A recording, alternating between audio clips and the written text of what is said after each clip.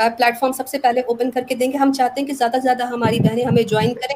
और जैसे कि बिनती सिद्दीकी सिस्टर की जो है वो यूट्यूब के चैनल की कम्युनिटी पर एक रिक्वेस्ट है कि जो बहनें हमारे साथ ज्वाइन करना चाहती हैं इस अच्छे मिशन पे, इस अच्छे कॉज में तो हमारे साथ रबता कीजिए। साथ ही हम अपने भाइयों से, अपने भाइयों से, बेटों से गुजारिश करेंगे कि आप जो ये हमारा प्रोग्राम देखते हैं, आप अर्ज़ कीजिए, अपनी बहनों को मोटिवेट कीजिए कि वो इस अच्छे काम में, जिसमें काम करते हुए सवाब भी है, इसमें हमारे साथ जुड़े ताकि हम इन तमाम बातिल अकीदों को आइडियोलॉजीज़ को हम इसका बिल्कुल सद्देबाब कर सके। मैं पैनल जो है वो ओपन कर देती हूँ। स्ट्रीम यार्ड का लिंक दे दिया जाता है। प्लीज़ यहाँ पे ऑल फीमेल एक पैनल है। तरीके से अगर कोई जेंट्स भी आता है तो अपनी बहनों की तरह हमें ट्रीट करते हुए अपना सवाल पोस्ट कीजिएगा। मैं इसको ओपन कर देती हूँ। जी अच्छा, हमारे साथ जो है वो बसालत भाई भी मौजूद हैं तो मैं उनको भी ऐड कर लेती हूँ। वो भी अपने जो है वो कमेंट्स रख लें।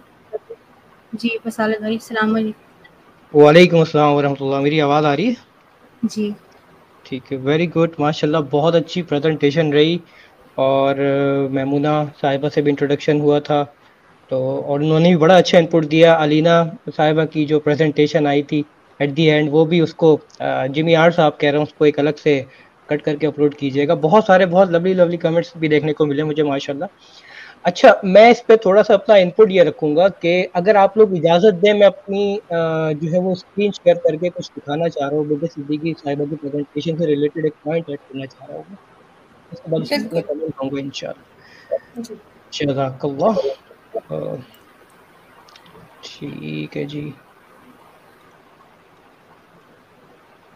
ठीक है मेरी स्क्रीन नज़र आ रही है? जी, बस जी बस आज भेजने जा रही है। ठीक है। अच्छा ये है, अल्लाह आपका भला करे। सीक्रेट्स ऑफ़ प्ले बॉय की एक सीरीज़ लॉन्च हुई है रिसेंटली इसी हफ़्ते, इसी महीने सॉरी उसके अंदर ज़िक्र किया गया है ये बनी कॉस्ट्यूम के बारे में। अगर आप secrets of Playboy search कराएँगे, उसके अंदर सारी डिटेल मालूम है।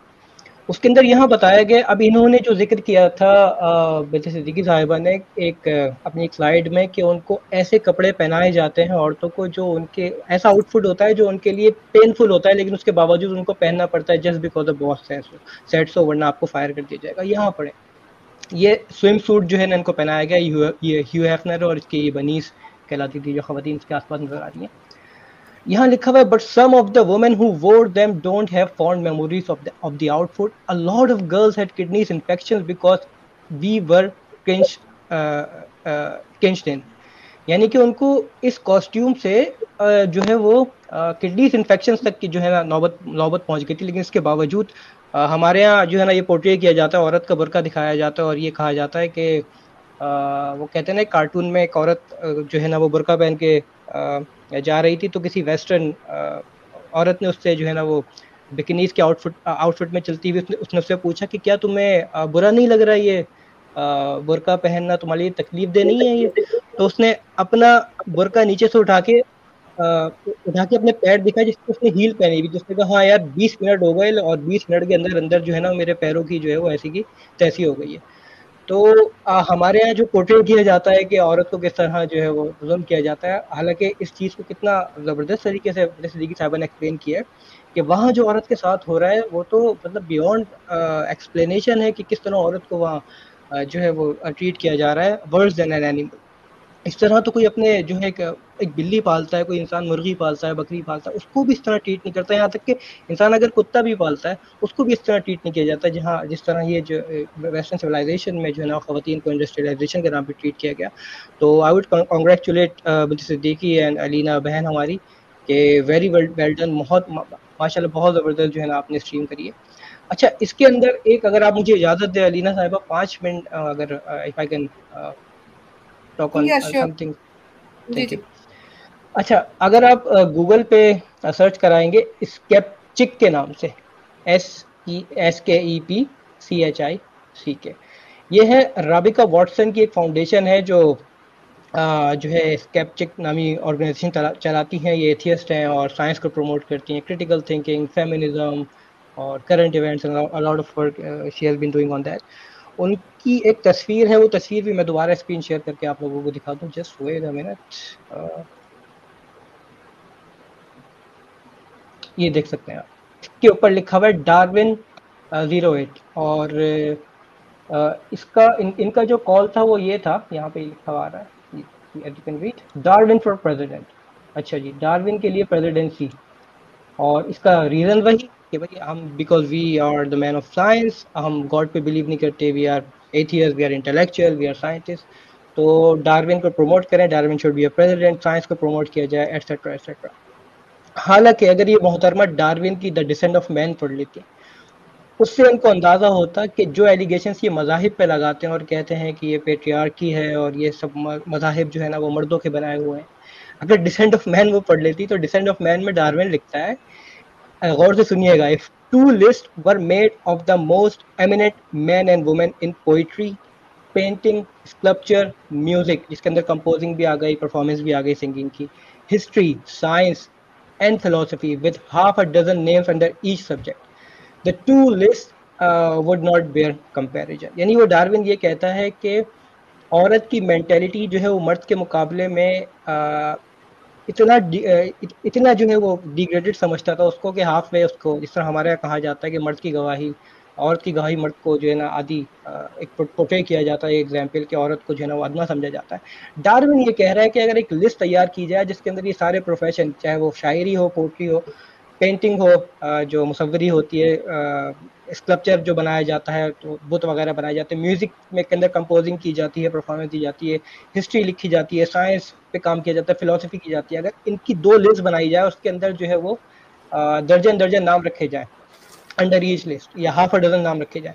कह रहे शायद ही, बस वो कह रहा है कि the list would not bear comparison कि शायद ही उसके अंदर औरत का नाम है because he used to think that men are superior than women तो बहरहाल दो तीन बातें और मुझे करनी थी लेकिन ज़ाहिर सी बातें पैनल में इंशाल्लाह और भी लोग होंगे तो बहुत माशाल्लाह काफ़ी सारे भाइयों ने हमें ज्वाइन किया है जजाकल्ला खैर। सरत भाई आपने जो है वो जिस तरह एलाबरेट कर दिया मजीद प्रेजेंटेशन को एक्सप्लेन कर दिया। um, हमारे पास अभी हम लाइन से चलते हैं। uh, सबसे पहले मैं चाहूँगी कि हमारे एक भाई ने हमें ज्वाइन किया हाफिज़ इतने जुनेद। इनसे आज के प्रेजेंटेशन के हवाले से जो है वो फीडबैक ले लेते हैं। और बाकी बहनों से भी गुजारिश है कि आप भी आइए स्क्रीन पर लिंक पर क्लिक कीजिए ज्वाइन कीजिए और इनशाला अपना अपना हिस्सा डालिए। जी हाफिज़ भाई अस्सलाम वालेकुम जी, वालेकुम अस्सलाम सबसे पहले अलीना बहन और Binte Siddiqui sister I am very appreciate you and Maimoona Rafi Bajwa sister पहले नंबर पे तो आपको वेलकम दूसरे नंबर पे आपने भी बहुत अच्छा जो है वो नुक्ता पेश किया, जो पॉइंट ऑफ़ व्यू था। बिल्कुल इसी तरह से ही है। कहने का तो बात कोई रही नहीं, आपने प्रेजेंटेशन जो है इतनी अच्छी और कमाल की आपने पेश कर दी। हर एक जो जुज था उसको आपने पेश कर दिया। हती कि उनकी जो हिस्ट्री है उसको भी आपने जो है वो पेश कर दिया। बकिया जो तजिया है मैं इनशाला आगे चल के पेश करूँगा। अभी कीप अप वर्किंग प्लीज़ जजाकल्ला खैर आपकी फीडबैक का। जिम्मी भाई मौजूद हैं। जिम्मी भाई से गुजारिश करेंगे कि वो अपना फीडबैक दें। क्या क्या समझते हैं आज के प्रेजेंटेशन के बारे में? जी अस्सलाम वालेकुम जिम्मी भाई। वालेकुम अस्सलाम। कैस कैसी हैं सिस्टर अरीना बसार भाई? उनके से देखिए आप क्या भाई सब कैसे हैं? जी अल्हम्दुलिल्लाह। मार्वलस प्रेजेंटेशन आई थिंक कुछ कहने के लिए बचा नहीं है। आपने जिस तरीके से उसे कि ब्रूटली इस आइडियोलॉजी को एक्सपोज कर दिया है और जिस तरीके से आपने प्रेजेंट किया है माशाल्लाह दैट इज़ रियली ग्रेट और रियली अप्रिशिएट योर वर्क और सबसे मैं क्या अपना एक आवाज़ चली गई है या मुझे नहीं आ रही? नहीं आ रही है सही आ रही सही आ रही है। और बाकी लोग अपने माइक म्यूट कर देंगे तो जरा क्लियर हो जाएगा उनका और। मेरी आवाज़ आ रही है? जी आप बिल्कुल क्लियर आ रही है। जी जी आपकी आवाज़ बिल्कुल क्लियर आ रही थी बोलिए। जिम्मी भाई आपका माइक म्यूट जी जी। मार्वलस प्रेजेंटेशन आपने बहुत अच्छी प्रेजेंटेशन दी आई थिंक कहने के लिए कुछ बचा नहीं है। मैं बस एक पॉइंट यहाँ ऐड करना चाहूँगा। एक स्टडी है जो कि पैंतीस साल स्टडी है।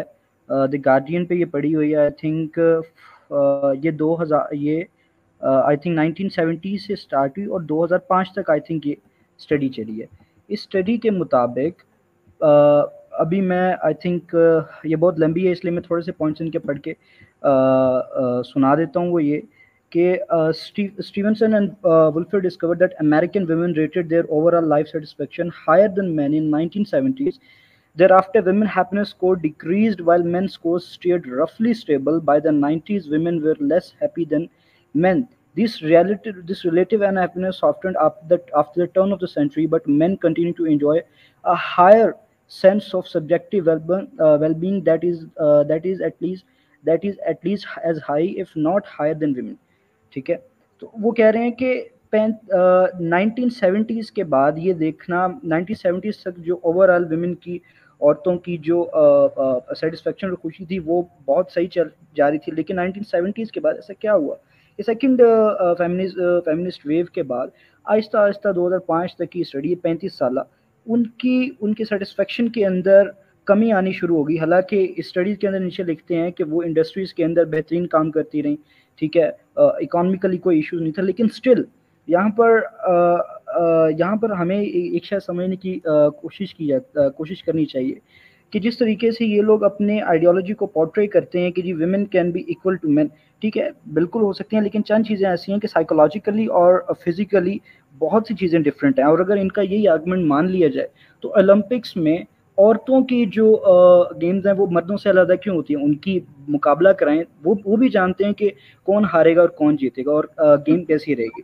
तो बस मैं अपनी बात मैं आगे भी आ, अपनी बात का अख्ताम भी कर रहा हूँ कि स्टडी भी मैं यहाँ पर आई थिंक लिंक दे दूँगा जो पढ़ना चाहे पढ़े।